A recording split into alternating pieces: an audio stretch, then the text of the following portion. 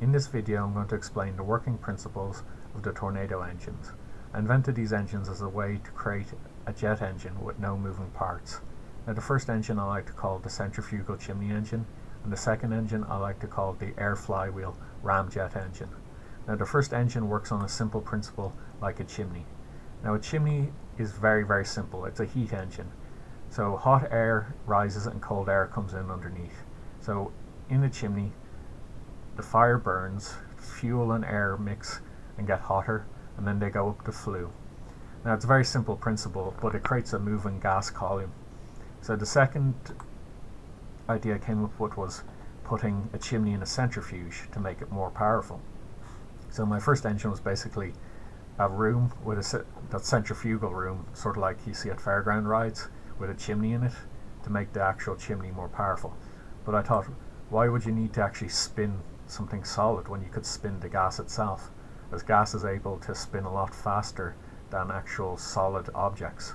So basically I took a tube and I put rings on either end to constrict the pipe. So there's a side view of what you're looking at. So if you cut that pipe apart, you get that. This plate is to separate the air intake from the air outtake. And basically it works on the same principle as a chimney. The air comes in, is spun up you could have a set of fans or vanes to make it spin before it actually comes into the engine. But once it's running it shouldn't be necessary because of the Coriolis effect. So the air would come in get spun up then fuel would be added and it burned or you could heat the sides of the chamber and then the air would get hotter and rise to the center of the centrifugal column of air and then get blown out the back.